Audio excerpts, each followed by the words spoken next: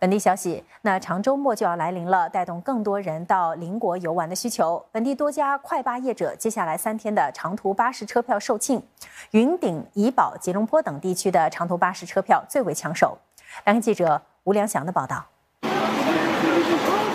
今年的劳动节遇上开斋节，上班族能享有多达五天的连假，加上新马两地防疫措施松绑，更多人将到马来西亚游玩。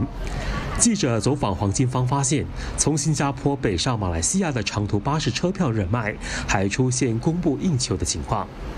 尤其是云顶，我们就啊，这长周末二九、三十一号已经售完了，所以原因就是因为啊，云顶的房间也不够，他们啊。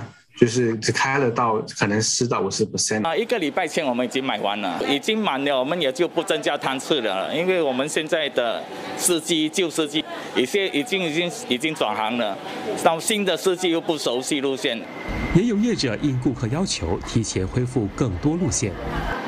我们提前一个月。啊，卖的这个啊，罗木和狗兵，因为很多询问的电话，他们都是这些游子要回去，回去他们的家乡。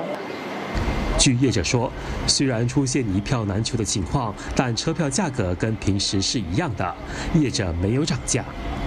西马长途巴士服务这个月获准恢复之后，至今至少有五家业者已陆续重启服务。不过，重启的路线仅占疫情前的百分之二十到百分之三十。新传媒新闻记者吴良祥报道。